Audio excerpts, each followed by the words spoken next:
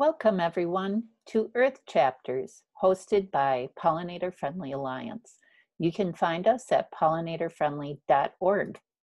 Pollinator Friendly Alliance is a grassroots nonprofit powered by the enthusiasm of our partners and volunteers to protect the natural world, pollinators, and their habitats.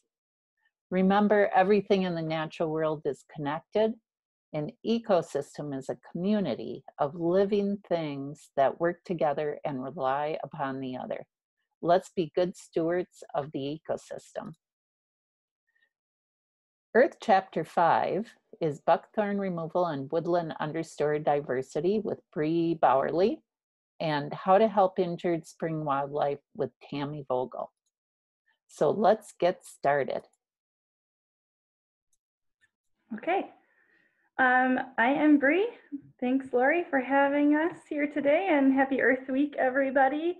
Um, I'm going to go really quick here. This is a huge topic. I could talk for um, an hour or two, and I have about 20 minutes. So I'm going to try to fit all of this in. So um, my email address will be at the end. If you have specific questions, um, feel free to reach out via email, um, but there will be a few minutes for questions in the chat too. Um, this is pretty comprehensive.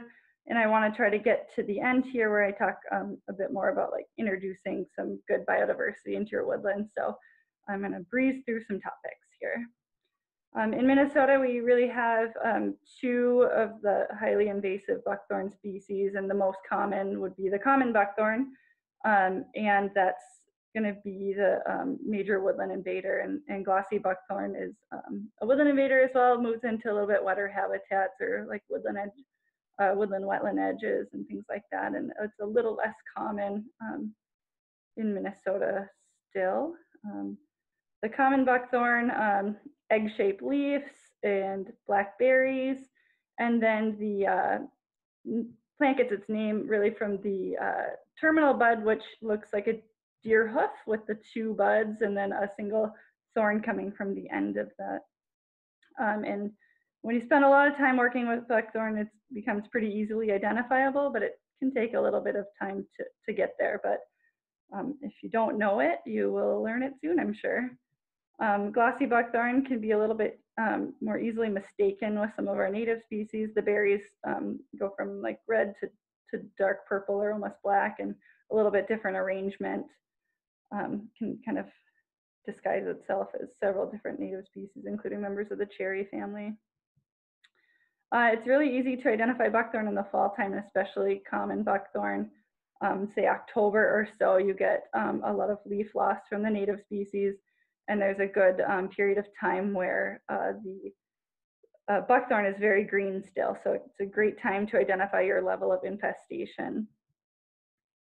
Invasion can take uh, many different forms depending on how long it's been in your woodland um, from seedlings to whips that are three feet tall all the way up to six feet tall or so. And um, depending on the level of infestation you have, um, can really dictate what uh, methods you might consider for removal um, up to these multi-stemmed, very old uh, buckthorn plants. So it's really important to make a plan. Um, it doesn't do you a ton of good to just cut buckthorn out of your woods and and assume that you're done because you're not. Um, so make a plan, know that you have a problem, identify your problem. Um, how are you gonna remove it? What are you gonna do with the woody debris? How are you gonna prevent more buckthorn and what are you going to replant? There's uh, mechanical options for removing buckthorn. Um, all, I'm gonna go through some different options here and, and some of the pros and cons of each, and again, move pretty quickly, but um, hand pulling or using a weed wrench um, is chemical free, which is great, and you know that the plant is dead as you're pulling the roots out. Um, but it can it can contribute to a lot of soil disturbance and cause erosion, especially if you're working on slopes. Um, and it can up, uproot some native um, desirable species as well. So um, it's really advisable on just the smallest um, of plants and if you have a really small infestation. Um, cutting with a chainsaw, a brush cutter, a loppers, um, or hand cutting, those uh, can el eliminate larger trees, um, especially on a smaller infestation scale. So you're working quickly through a, your backyard woodland. Um, you need to do something with the resprouts at that point, and it can leave a lot of material, a lot of you know 12 foot tall or so um, stems that you have laying around then. Um, this is a brush cutter. It's really just a large weed whip, two handles, and you can um, put a saw blade on the end of it. It's a really handy tool to have, especially if you're maintaining uh, prairies or again, um, like a buckthorn woodland. It's a, it's a, can be a really good investment. Um, but you're left with a stem, um, and these will almost always uh, create this crown of resprouts um, to deal with, you know, through subsequent growing seasons. Another mechanical option on a larger scale or, um, or on a small scale, uh, depending on if you have a really heavy infestation, um, can be forestry mowing or using a brush hog or a DR mower, and those can be rented at you know general rental types um, stores, and um, they can do some really quick work on clearing heavy buckthorn infestations. Um, they shred the stumps so you don't get quite the same amount of resprouts, or sometimes you get less resprouts, or or you just they don't uh, create that cr same crown or hydra type appearance to the resprouts. Um, and allows you better access to work um, back through the, uh, the project area. Um, and it gives you a little bit better um, prepared soil bed for um, potential replanting or reseeding. Uh, it is definitely a first step. Um, you're not done once you do this, uh, like the mowing type removal option. There's still going to be follow-up work, either continual mowing, grazing, uh, etc. Um, so then that continued mowing can take different forms, you know, depending on your level of infestation um, and how often you're working in the woodlands. You can again keep going over those resprouts with a brush hog or a DR mower or a brush cutter or a lawnmower. Um, just really depending on how many resprouts you're seeing there um, later in the growing season or in subsequent growing seasons. Um, depending on uh, how much energy is stored in those roots, uh, it's going to be a bit of a battle, whether it's one year, two years, or more, um, with uh, treat, taking care of the resprouts. Uh, and at the same time, if you had mature uh, plants in your woodland, um, you'll have berries in, in, uh, in your seed bank, and those will grow from the soil and um, produce new stems. So it's really important to stay on top of that infestation as you go along. Um, Another option could be burning stumps with a weed torch. This can damage the cork cambium layer and uh, take care of um, some potential resprouts. Uh, you can also use the um, buckthorn baggie and tin can method that I recommend Googling uh, if you're interested in knowing more about those. As I mentioned, goats can be a really great resource for taking care of resprouts. Um, they are not able to tackle that initial infestation, you're really looking at buckthorn plants that are smaller than six feet. So whether you go in and cut uh, with a brush cutter, chainsaw, or do some uh, heavier duty mowing um, methods for initial removal, then you can bring the goats in later that growing season um, or subsequent growing seasons. And, and it almost always needs to be repeated, whether it's later in the same growing season um, or multiple uh, years of uh, visits with the goats. There's a few different methods for for putting goats on properties and either you can put a really uh, dense uh, number of goats in at one time into a small woodland. So in this case uh, these goats are still being unloaded from a trailer and they're already gone to work. This is a high number of goats in a small piece of property and just in a couple of days um, understory is cleared. Um, and then the other method would be just fewer goats for a longer period of time. We're really just looking to stress uh, those woody plants um, by herbivory. And at the same time, we're providing an ecosystem service of disturbance and um, turning up that uh, soil bank and providing bare soil for future uh, seeding and replanting. So goats are an amazing resource. Um, uh, introducing grazing back into the woodland uh, but they are not a one-stop shop. And a lot of people, you know, they hear about them and they get really excited, um, but there needs to be that initial removal prior to introducing uh, these herbivores. They are not able to, to take down mature trees. So just remember that, but they are an awesome option and so fun to use and, and really exciting to see those services expanding um, through the metro. and outstate areas here in Minnesota. Um, if you're going to cut the larger material, uh, then you have to consider what you're going to do with the do with it when when it's laying on the ground. So you can uh, chip it and haul it away. Uh, you can chip it and leave it back in the woods. Um, you can bring it to a brush drop, um, and you can leave it where it lays. So slashing um, is cutting up the woody material in you know say three foot lengths or so and leaving it lay. Um, this can be really great for stabilizing slopes or, and not um, doing dragging away from those areas. You create some habitat, and again, it really depends on your level of infestation. Um, it makes it a little bit trickier to get back and work in these areas. Um, but if your plan is to leave it lay for you know a couple of growing seasons, then that can be um, good to leave lay. Um, burning, so making brush piles uh, to burn now or the next season, or to even leave in place as habitat. Uh, so when working in a heavily infest, infested woodland, you can uh, get a pile going and just keep adding to it. And that's really great um, when you're cutting in the winter time. Um, and really that is our recommendation to, to cut buckthorn um, kind of like August through March or so. You're really not looking to do the removal work in the springtime when the uh, sap is flowing upward. But after the um, energy is all put out into the leaves for the for the growing season. So really later summer and through the winter. And working over the winter time is great too for um, eliminating soil disturbance. So working over frozen ground conditions, especially when you're bringing in uh, heavy equipment or tracked equipment. Um, so here's those brush piles. So you can either do a small fire pit style um, especially uh, if you live somewhere where there's uh, ordinances. Um, so working within that three foot fire ring. And again, uh, just mentioning right now, um, springtime, not a great time for uh, cutting buckthorn, also not a good time for burning piles. So hold off for a while. Um, also, the uh, here's a picture of a, a, brush pile that would be left really for several growing seasons and makes great habitat.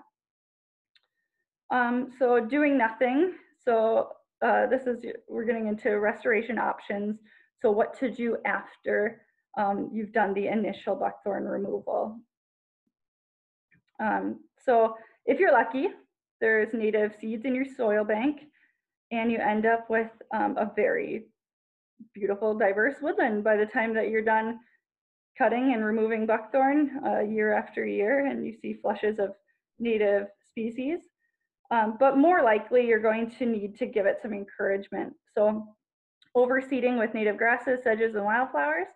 Um, there's there's uh, research being done right now that uh, it can compete with young buckthorn seedlings, uh, reduce future seed germination. So um, the U of M is uh, currently working on their Cover It Up citizen science program, uh, where uh, citizens are removing buckthorn and plats and uh, doing various seeding uh, and uh, monitoring what grows. So that study will be continuing on through 2022, but I encourage you to um, look it up.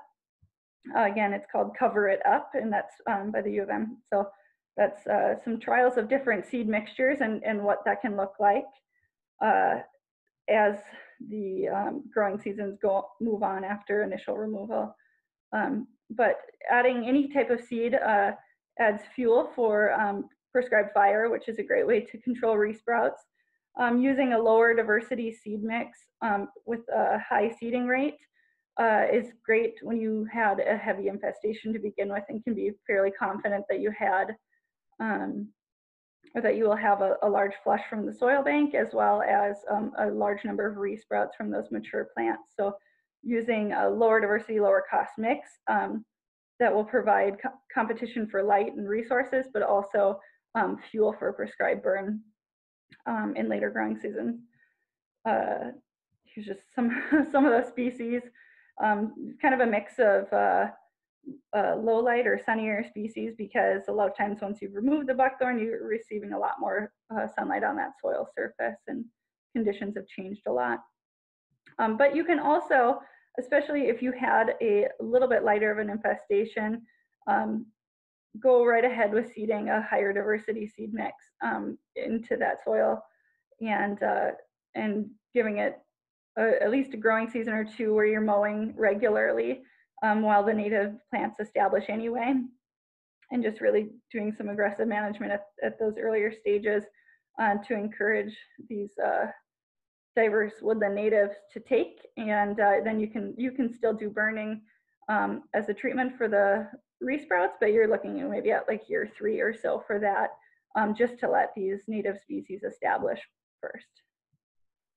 And uh, there you're providing some really great biodiversity in your backyard and some great habitat for local wildlife. Um, one more option I'll mention is um, kind of taking back some of your yard. So if you're if you have a woodland understory that's overtaken by buckthorn and you want to do something maybe a little bit more usable with the space, there is the option of um, introducing uh, blends of fine fescues or like a low grow fescue blend. So that's going to um, cover the soil, help um, prevent erosion uh, and uh, competition for resources with those buckthorn seedlings, but it can also be mowed much more regularly, and that's really like uh, once a month or so um, as those resprouts come up. Um, and uh, fescues are known um, to be, some species are allelopathic, meaning that they don't, um, it's like uh, releasing that little bit of toxin into the soil, so uh, they don't share well, share their space well with other species, so that can be beneficial when combating buckthorn. Um, and you can just uh, stick with a plain fescue blend or even uh, introduce a bee lawn if you do have um, kind of like a part shade situation uh, in your property. Uh, let's see, I'll breeze through some options here for native um, trees and shrubs, but there are a lot of um, really wonderful native species uh, that you can introduce back into your woodland for screening type options or and for habitat value once you're fairly confident that you have the resprouts under control. So really not looking to add woody material for a couple of growing seasons while you're continually mowing or grazing um, your woodland understory. Um, there's a, the dogwood species, highbush cranberry, um, nannyberry, serviceberry, chokeberry, choke cherry, um, native plums, hazels, hawthorn, and then um, speckled alder can be a good alternative um, to uh, glossy buckthorn, similar growth habitat. Um, but you're providing a lot more um, high quality habitat for wildlife um, with these native species over the buckthorn. Um, and please choose native um, trees and shrubs or ornamental if you must, um, but avoid uh, invasive species, especially amur maple, honeysuckles, uh, Siberian pea shrub, barberry, and more. Um, but uh, there is the dwarf bush honeysuckle. Of course, that's a native variety and great um, ground cover and can be a good competition for buckthorn as, as well. So with that, I think I um, used up my time pretty well uh, up. So I can take some questions now. Great, that was so great, Bre. Um, so if you can put your questions in the chat, everybody, and Bre will take a, a, few questions now from you. I haven't seen any come up so far, so you must have been doing a really excellent. Talking fast, covered all of material. Well, I'll hang out too um, through the next presentation, and so if some uh, some questions do come up, uh, feel free to ask, and I can always take them at the end, or feel free to email me. And I think Laura, you're going to put up our email addresses again at the end here. Well, yes. Perfect. All right, I'll quit sharing my screen here then. Um, and then Tami, if you would like to um, unmute yourself and start your video and share your screen. Oh, there we go. One for you, Bre. Okay. Thanks. And following cut stems with a herbicide. Oh, um, you can email me and I can give you some information on that. Okay. That's a long answer, I think. So, yeah, yep. All right, thanks, Bre. We'll take some more questions later. In the meantime, let's welcome Tami from the Wildlife Rehab Center of Minnesota. Hi, everyone. Um, I was saying earlier, I'm a pretty informal speaker.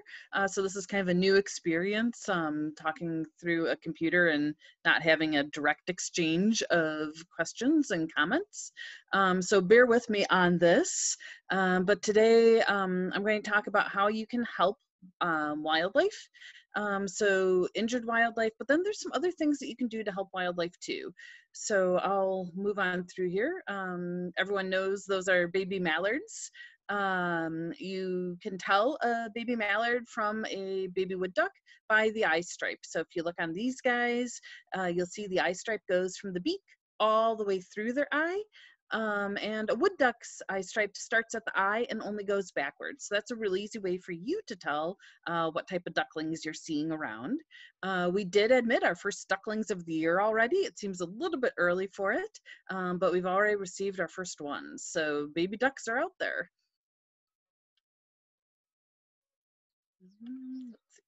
Uh, WRC, um, I'm assuming most of you have heard of us. Uh, we are one of the oldest wildlife hospitals in the nation. Uh, we have a, a, staff of about 16, and that includes our seasonal staff.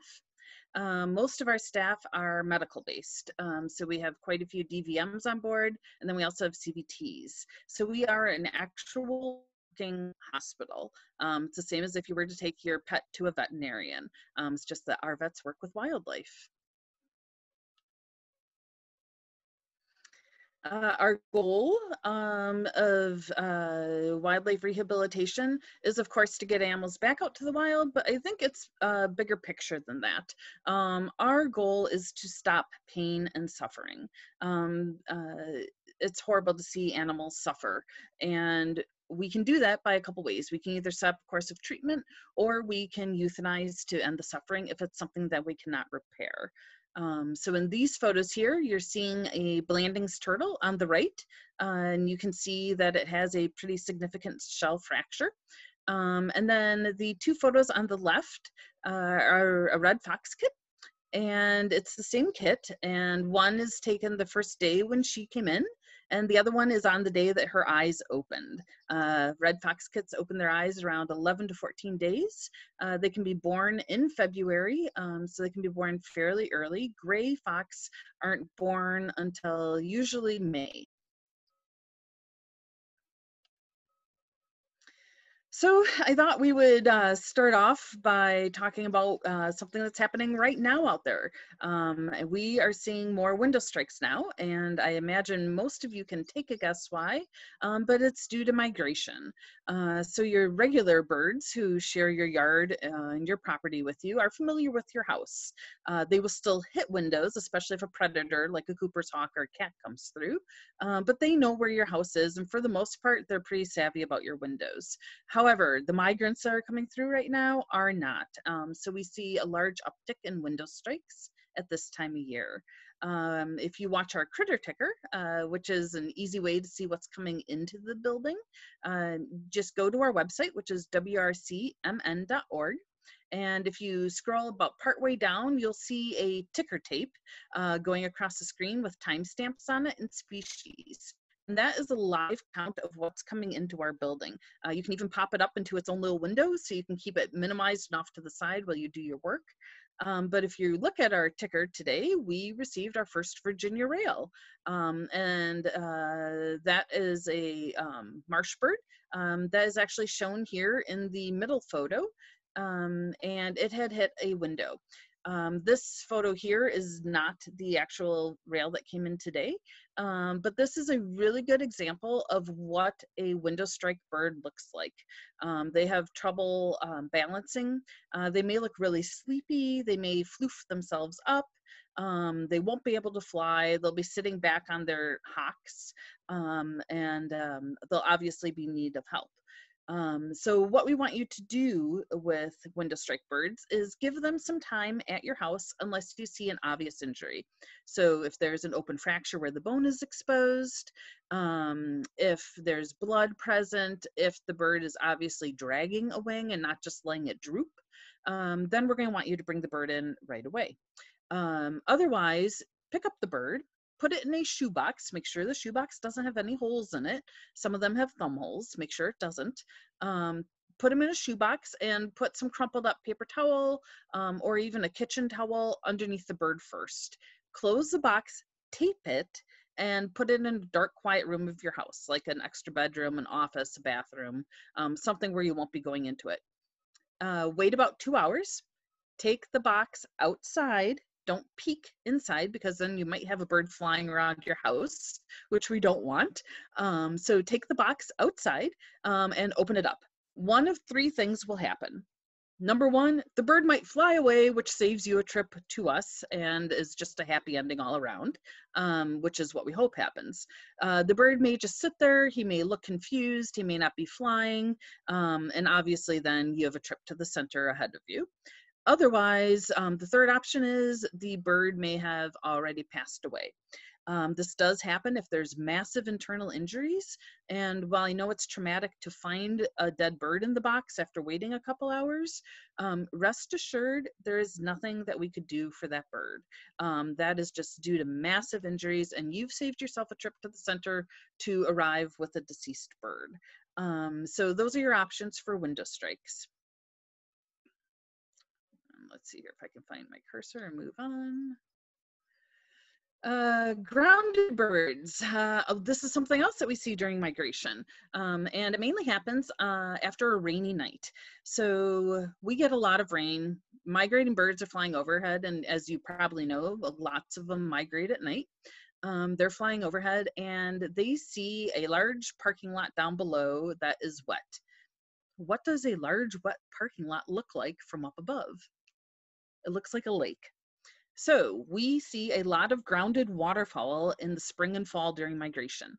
Uh, what happens is birds like this pied-billed grebe um, and the coot that came in today uh, was grounded. Um, so grebes, coots, loons, uh, these birds all need water to take off. They cannot take off from a standing position. So these birds land and they'll land on the wet pavement and they're stuck. They can't go anywhere until a good Samaritan comes along and helps them. You could just take the bird and put it in the nearest body of water and hope it's okay and hope it flies away. But if you're like me, uh, you put that bird in the water and then you realize the bird can't fly and probably not going to be able to just ignore it, um, which means you are now going into the cold water to get the bird, um, which isn't easy because I bet you could, the bird can swim. So we would actually recommend, regardless of whether it looks like it's injured or not, bring it to us. Uh, we can do x rays, um, we can check it out for broken bones, we can check it out for concussions. Um, road rash, uh, several times they'll get abrasions. So we will do all of that. Um, so if you find a grounded bird, we would actually recommend bringing it in. So those are the two biggest things that are happening right now, and I thought I'd cover those right away. Um, but now I want to talk a little bit about things you can do to help injured wildlife by keeping healthy wildlife in the wild. Um, we are just like a human hospital. We have limited bed space, um, and we try whenever possible to keep animals in the wild because it's better for them to grow up with their parents. Uh, their parents can teach them how to survive much better than we can. Um, so one of my favorite things to ask is, what do these three species have in common? Um, and you may be wondering what a cottontail rabbit and a, American robin and a fawn all have in common. And we're going to talk about that. They are the three most misunderstood species as far as their life cycles in the wild go. So uh, this means that they are most often brought to us when they don't need to be. So we want to really push education on these species um, fawns uh, will bed down and they will stay put while mom goes out and forages. And they'll do that for about the first five to six weeks of their lives. Um, of course, as they get older, they become a little more curious. They start walking around. Um, they will walk up to you and your dogs. Um, they are curious, they aren't afraid, and that is fairly normal. If you were to try to capture that fawn, it would probably run away. Um, but once they're about five, six weeks old, um, they're starting to get into trouble while mom is gone. If you find a fawn in your yard, leave it alone. Uh, try to keep the kids and dogs away. I know they're cute. I know they're fascinating animals. Watch from afar, take photos from afar. Um, mom will come back for it. She will come back once or twice a day. She may move it, she may not. Uh, the fawn may be in your yard for three or four days nonstop. All of a sudden, the fawn's gone. You don't know where it went. Um, and then a week later, it shows up again in your yard. And that's just because mom is moving it around. If the fawn gets flushed, like if your dog finds it before you do and it chases it across the yard and goes into the neighbor's yard, don't worry about it. Mom is going to come back when she's done foraging. And if the fawn isn't where she last saw it, she's going to snort and stomp her hoof. The fawn will also cry for its mom. Uh, I don't know if you've ever heard a fawn cry. It is incredibly loud. Um, it sounds like a giant baby goat. Um, so it's a very loud, bleating call. The fawn will also cry for mom if it's hungry. So even though mom's out foraging, if the fawn gets scared or if it's hungry, it's going to start to cry. It will cry for about 15 minutes. It may wander around a little bit, and then it's going to curl back up and it's going to wait for her to come back. Don't worry about it. As long as it's curled up and it's calling for about 15 minutes and then laying back down, everything is fine. You will know if the fawn has become orphaned. And the way you'll know is, believe it or not, they actually throw a temper tantrum. Uh, it's the best way to describe it. Uh, this little fawn is going to be running around in your yard and it is going to be crying for an hour, maybe two hours nonstop. Um, it is truly going to look panicked. And we're not talking, again, 15 minutes and bedding back down. We're talking nonstop crying. If a fawn is doing that, we want you to capture it and either bring it to us for a health check or call us. Uh, we have someone who's dedicated to just working with fawns. Um, so we will get your voicemail and we will call you back. Keep the fawn in a dark, quiet area to reduce the stress. And then when we call you back, we'll have you do a skin tent hydration test on it uh, to see if it's dehydrated. If it's dehydrated, we're going to have you bring it in there are a couple circumstances where we would want you to bring those fawns right away. Um, the first one would be if it's obviously injured and significantly injured, not just a little scrape on its leg, um, but bleeding, limping, can't stand, is lying on its side, anything like that. Uh, for those of us who have pets, uh, it's a good sign when our pets are lying on their side, right? It means they're nice and relaxed. Fawns don't lie on their sides they never be on their sides. If you find a fawn on its side, it's probably already starting to crash, and then we want you to just bring it to us right away. We are open daily. We're open 9 to 6 every day. So that's about fawns. Um, I can answer more questions afterward on them. Bunnies! I'm assuming most of you are avid gardeners um, and you probably have mixed feelings about bunnies. Um, they are a very important part of the food cycle. Uh, we ask that bunnies be left alone. Uh, we certainly don't want the bunnies brought to us just because you don't want them in your yard. Uh, we cannot take them because of that. Um, so then that puts responsibility on you to decide what you want to do with the bunnies. Um, but we cannot take them simply because people don't want them in their yards. Um, so I chose this photo of a very cute bunny because this is what they look like when they're on their own. And this is really important to understand. That bunny sitting there is a little bit smaller than a softball. They are on their own at just a little bit over three weeks of age. So they develop incredibly fast. They open their eyes at day seven. So that will give you a judgment of how old the bunnies are that you're probably finding in your gardens right now. Um, leave them be. Uh, they will grow up. Uh, they'll hit the 21 day mark. They'll start to forage a little bit. They'll still go into the nest at night for a couple days, and then they will move on. Um, mom usually kicks them out of her territory. Um, you can move a bunny nest if you have to, but you can only move it two or three feet at a time. You have to replicate the nest. You have to move it intact. You have to leave it for two days to make sure mom is coming back.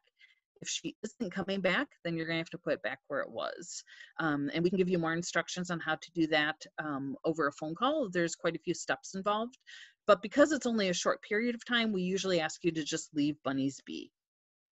Uh, we have cut our bunny admits nearly in half, and we are also doing a reunite program, which means if you bring us baby bunnies, we're going to look at them.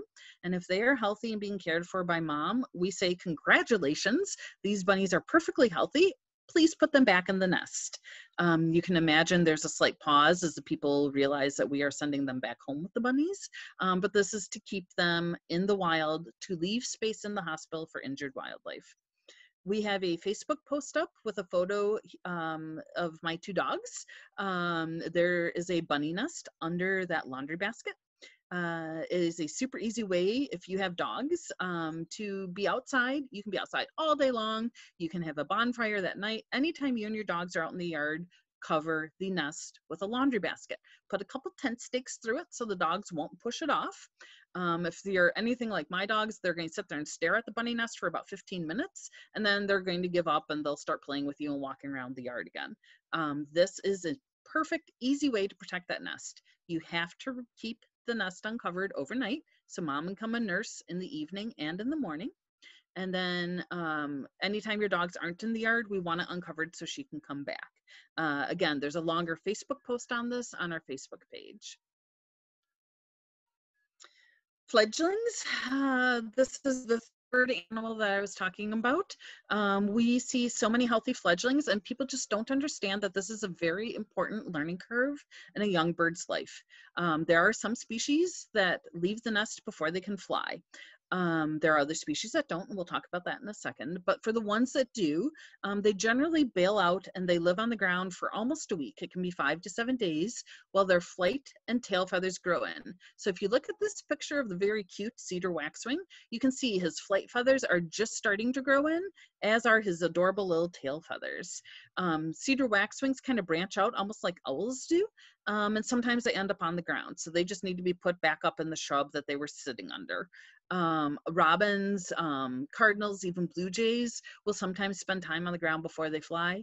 Leave them be. Um, they're going to be hopping all over the place. They're going to try to cross the street. They're going to go into your neighbor's yard. We know that people have cats that they leave, that they leave out. We know there's feral cats around. Um, we can't control that. That is something that humans can control themselves. They need to take care of the cats um, being out, but we cannot control them predating on the birds. Um, so the birds need to be left where they are um, to learn this life cycle. The parents are around, they'll be issuing alarm calls to the birds. This is how they learn to evade predators. Um, they're going to learn to seek out shade from the sun um, and from the rain. Um, they're going to learn how to find food. And within three or four days, they'll be taking little short um, flights of maybe four or five feet. Um, by day seven, they should be flying really well of course, if something happens to one of these fledglings, bring it into us, right? If a cat gets it, if your dog gets it, um, if a crow finds it, if some other predator finds it, if it's obviously injured, bring it into us. If it's healthy, leave it be. We are really, really good at troubleshooting and we can help you out with different situations over the phone too. So always feel free to call us about these guys. These are some birds that should not be on the ground you should never find a baby cavity nester on the ground. If you do, something has caused it to prematurely fledge. Um, and so that could be a red squirrel getting into the nest. It could be a snake. It could be a, a wren getting into a nuthatch nest. Um, it could be a downy woodpecker going in and deciding that they want it. All sorts of things can cause birds to prematurely fledge. Um, so if you find a cavity nester on the ground and you cannot get back into the nest, and the parents are not coming to care for it once it is back into the nest, then you should bring it into us right away. And uh, these little guys, it's actually a video. Uh, so I thought you'd like to see what baby wrens look like. So cute.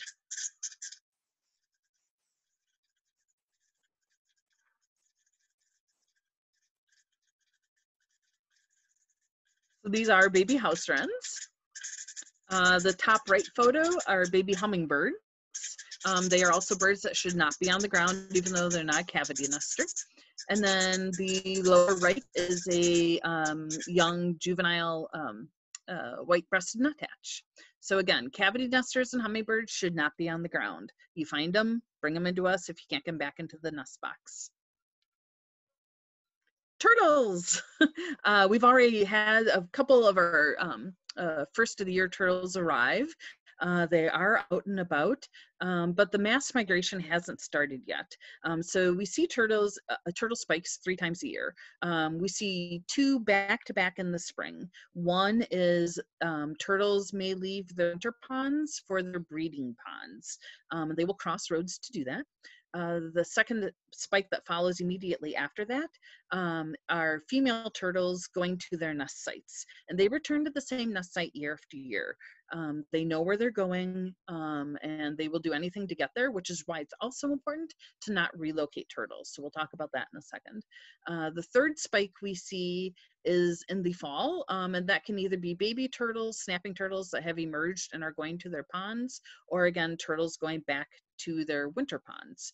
Um, so I find it personally amazing um, how our vets can put turtle shells back together. Um, it's absolutely stunning to me. A turtle can come in, and I think to myself, that turtle's never going to make it. And then, sure enough, they've done like a complete jaw restructuring on it, or they've put the turtle shell totally back together again. Um, so, if you do find an injured turtle, bring it to us it is critical that you note the location found. Um, as I said, turtles have this amazing GPS in their head and they know where they're going. So if you take a turtle and you decide it's not in a safe location and you decide to move it to a safer pond, it's a female turtle or if it has a wintering pond, that turtle is just now going to have to walk even farther to get to where it wants to go, which means it's crossing more roads. So you're actually putting the turtle at an increased risk. So, location found, note it down. I don't care if it's like across from the Methodist Church in Minnetonka or um, two miles north of County C on the right side of the road. Make some note about where it is um, that you can give to us. So, when it comes time to release the turtle, we get it as close as possible back to where it came from. This is a snapping turtle and it has, think this is the one that has a feeding tube in it. Um, uh, so you can see it has a pretty significant nose damage to it.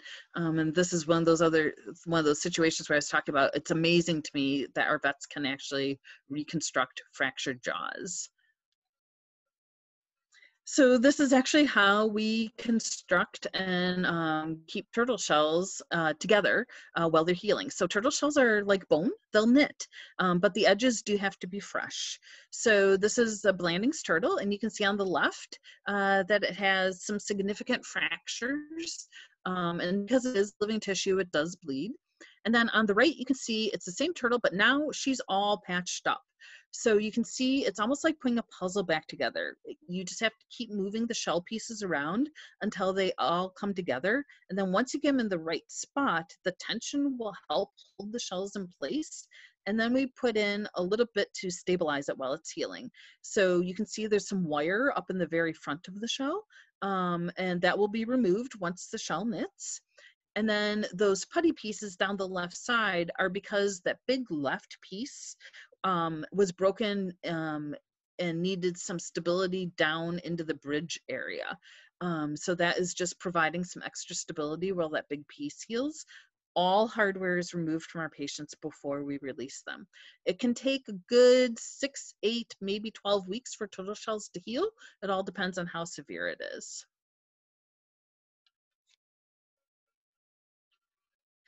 Uh, turtles um, are amazing animals. Um, like I said, they have this great GPS in their head.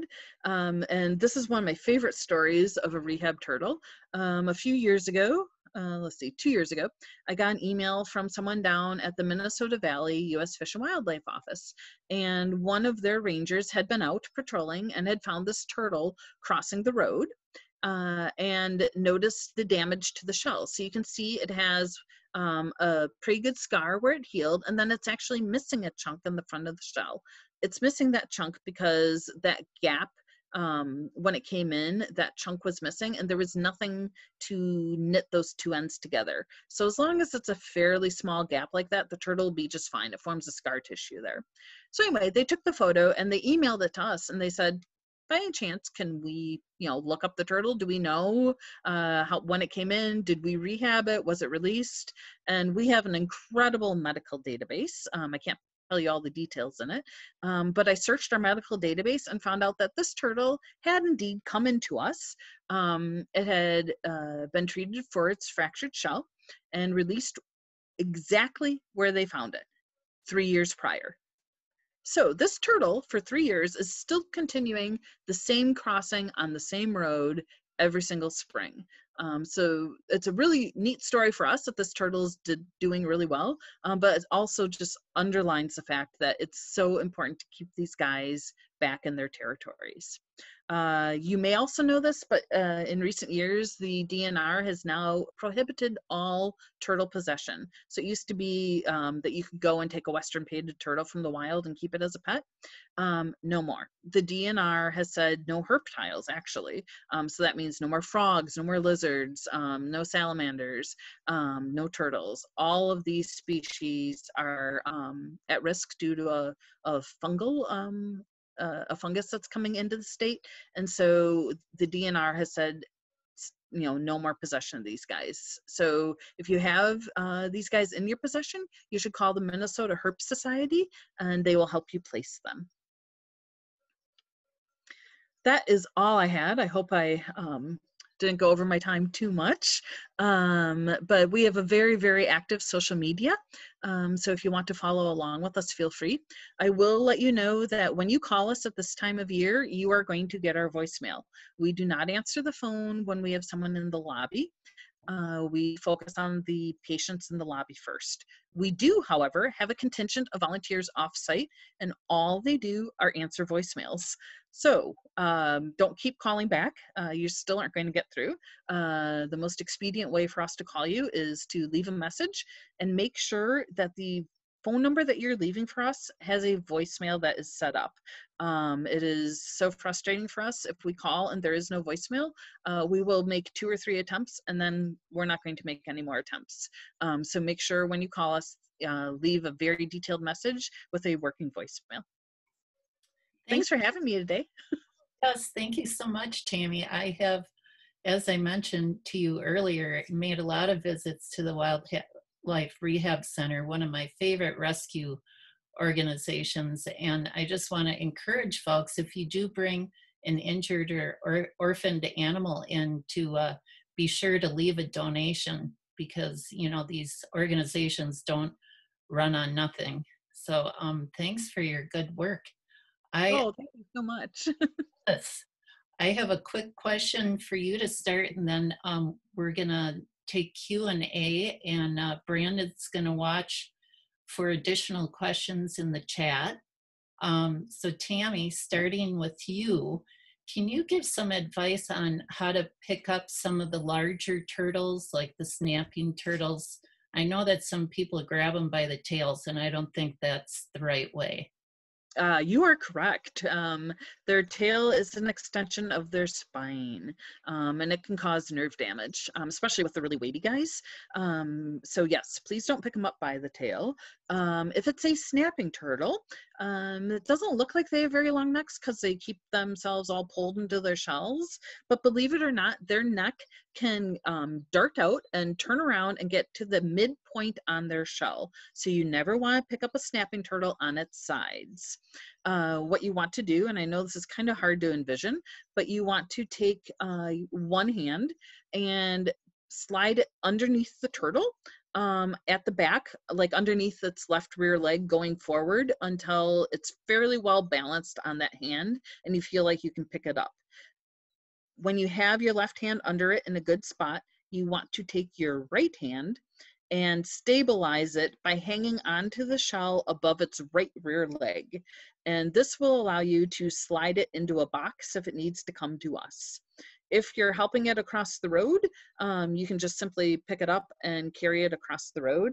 And yes, it is true, the turtle will probably pee um, and you have the back of it facing you, so just be aware of that. Um, but that is the way to pick up a snapping turtle. All the other turtles you can just pick up midpoint on the shell and carry them across the road. Thank you for joining us for today's Earth Chapter. Thanks to Pollinator Friendly Alliance, our host, and Ramsey County Soil and Water, our co-host. If you have questions or inquiries, please contact pollinatorfriendly.org.